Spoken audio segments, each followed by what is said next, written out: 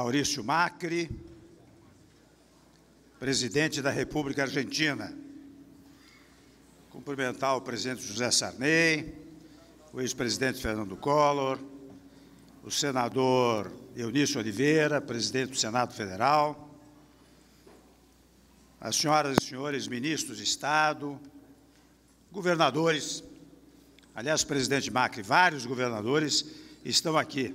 Eu percebo que Santa Catarina, Rio Grande do Sul, de alguma maneira se julga integrado à Argentina, né, porque vieram todos, assim como o governador do Distrito Federal. E do Paraná. E do Paraná, Beto Richa, é claro. Quero cumprimentar a todos, deputados, senadores, uh, são muitos também presentes, presidente Macri, a revelar a importância da sua visita e o carinho que os brasileiros têm com a Argentina. Senhores representantes da Igreja,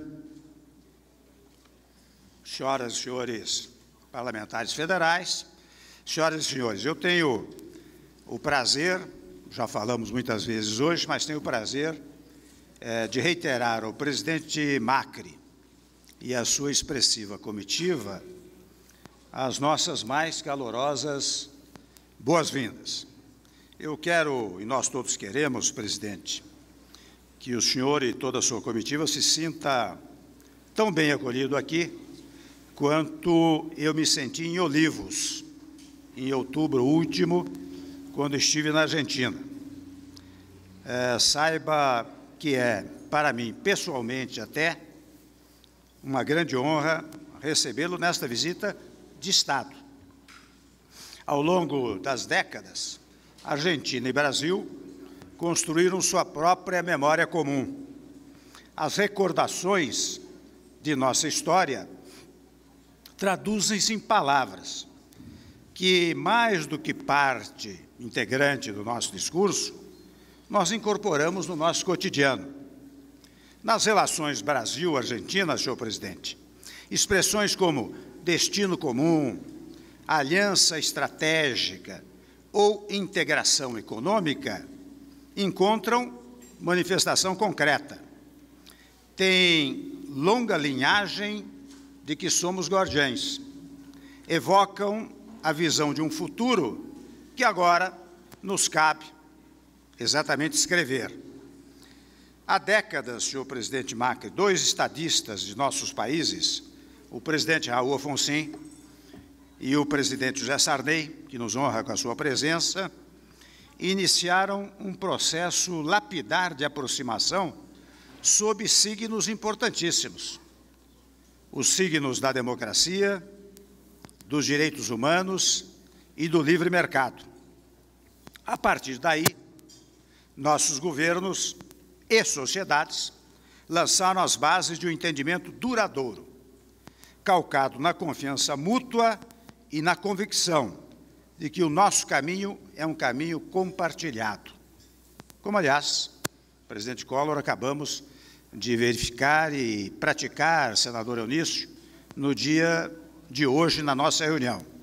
Eu falo, portanto, de ontem com os olhos no amanhã, um amanhã que depende do resgate da vocação original de nossa aliança, da vocação original de nossa integração, da vocação original do Mercosul, que nos cumpre presidir ao longo deste ano, neste semestre, Vossa Excelência, no semestre que vem, o Brasil. E interessante que hoje ainda, senhores e senhoras, na reunião que mantivemos com o presidente Macri e sua comitiva, avançamos bastante na tese da universalização das nossas relações diplomáticas, Brasil-Argentina, propondo até, coincidimos até na proposta, de nos integrarmos, integrar o Mercosul com a Aliança do Pacífico, né, com os países, portanto, da América do Sul, México, que é uma aliança importante é, para todos nós. Eu constato que essa coesão não é restrita aos nossos governos, que nossos empresários, nossos trabalhadores, nossos estudantes estão engajados nessa obra coletiva que é a prosperidade comum de Argentina e Brasil. Aliás, traço adicional que nos une hoje é a convicção de que é preciso agir, não basta enaltecer o passado. É tempo de convergência pragmática que nos faz avançar naquilo que é essencial. É tempo de ampliar o comércio, ampliar os investimentos, ampliar oportunidades para argentinos e brasileiros, já que a esta altura não há tabus na relação Brasil-Argentina. E é esse espírito de realização, esse sentido de responsabilidade, esse compromisso com resultados que fortalecerá nossa parceria. Parceria que é, presidente Macri, tanto mais importante no mundo em que vivemos. No momento em que ganham força tendências de desunião, isolamento e protecionismo, Argentina e Brasil respondem com mais aproximação, com mais diálogo, com mais comércio. Respondem, sobretudo, com uma só voz. Senhor presidente, a liderança agregadora de Vossa Excelência, neste panorama de incertezas, devo dizer, é motivo de nossa admiração e de nosso reconhecimento. Aliás, sentimentos que faço questão de expressar por singelo gesto de homenagem ao conferir-lhe o grande colar da Ordem Nacional do Cruzeiro do Sul, a mais alta honraria brasileira outorgada a chefe de Estado estrangeiro. Portanto, para celebrar a amizade que irmana Argentina e Brasil, eu quero levantar ou propor dois brindes. O primeiro, se me permite a intimidade, em comemoração antecipada do aniversário do meu prezado amigo Maurício Macri, no dia de amanhã. Em nome de todos os brasileiros, meus afetuosos parabéns, muitas alegrias e continuadas realizações. O segundo brinde é pelo progresso da nação argentina, pela felicidade desse povo irmão, pela amizade fraternal que nos une. Saúde, portanto.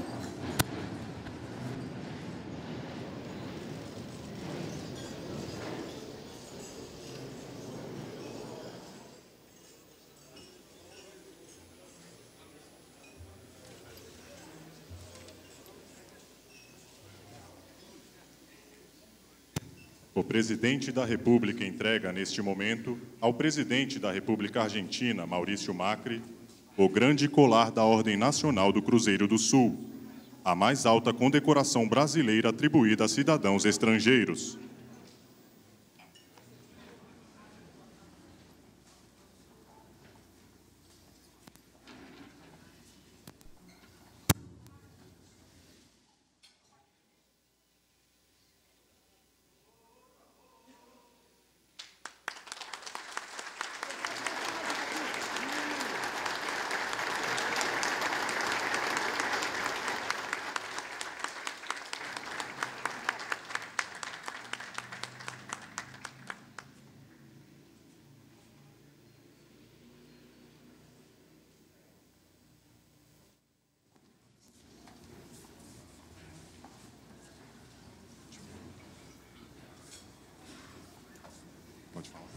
Com a palavra, o presidente da República Argentina, Maurício Macri. Buenos días a todos. Muchas gracias, presidente. Muito obrigado, senhor presidente, por este convite a es, por, para esta visita de Estado a Brasília. Obrigado a todos os que estão nos acompanhando nesse almoço. Obrigado ah, pela condecoração tão importante. É realmente um orgulho. E eu quero aqui ratificar que estamos muito contentes de estar aqui.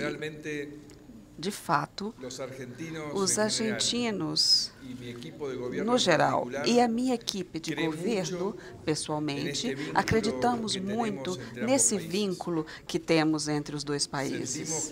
Sentimos que existe uma corrente histórica de afeto que cresce dia a dia, tanto que vamos a Santa Catarina em qualquer momento também. E também sentimos que existe uma sociedade estratégica, natural, E temos que consolidar.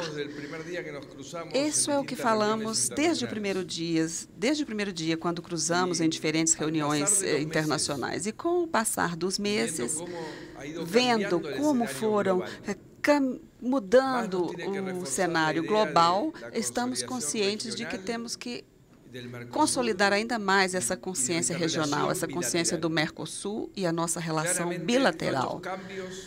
Entre outras, todas as mudanças são novos desafios surgem perguntas e mais perguntas que respostas, surgem mais incógnitas do que clareza sobre o nosso futuro. Mas por isso mesmo temos que reforçar, porque juntos vamos ter mais possibilidades de que esses desafios se transformem em oportunidades para nossos países. Oportunidades que gerem trabalho e que ajudem a diminuir a pobreza, que é o nosso principal desafio, reduzir sistematicamente a pobreza no Mercosul. Eu acho, então, que todas as coisas que discutimos hoje são ferramentas concretas que viabilizarão maior intercâmbio, maior integração produtiva, que vai permitir, a partir da força do nosso setor privado, permitir o desenvolvimento que precisamos. Como governantes, devemos facilitar ferramentas para o desenvolvimento dos nossos povos. Acreditamos que essas ferramentas de integração consular, técnica, ferramentas de padrões de integração, de infraestrutura, de manejo de fronteiras, de combate ao narcotráfico. Com todas essas ferramentas, vamos encontrar as soluções que buscamos. Eu acredito que qualquer tipo de desencontro que tenhamos tido no passado deve ser capitalizado hoje como uma experiência, porque, como diziam os amigos da imprensa, há muitas décadas havia um cenário de conflito bélico entre os nossos países. Ainda que hoje isso pareça impossível de se imaginar, haviam várias coisas que nos levaram a tomar decisões negativas em prevenção a esse tipo de situação. E saímos disso dialogando, trabalhando em conjunto. Então, então, foi uma agência de cooperação.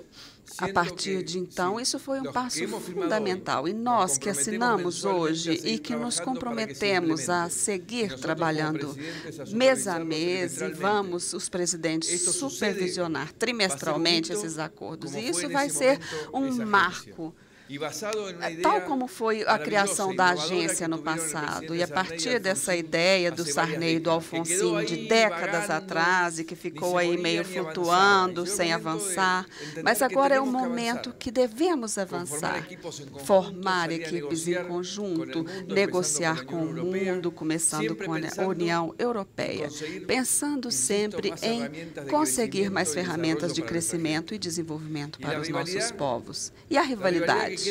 A rivalidade fica apenas para esse detalhe maravilhoso que eu vejo aí aqui é, em algumas mesas sobre as equipes de futebol. Na Argentina, nós não fazemos uma mesa. Se, se colocarmos uma mesa somente do Boca Juniors, todo mundo vai querer sentar na mesa do Boca Juniors. Então, se eu fosse brasileiro, eu me sentaria na mesa do Palmeiras. Mas eu não sei.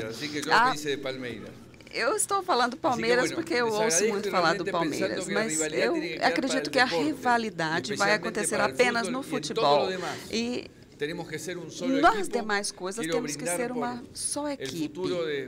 Eu quero fazer um brinde, então, pelo futuro do Brasil, o futuro da Argentina. Juntos, vamos ser melhores, sempre mais fortes, sempre juntos, melhor que divididos. Então, eu aposto nessa união consolidada do Mercosul, Argentina e Brasil. Viva o Brasil, viva a Argentina!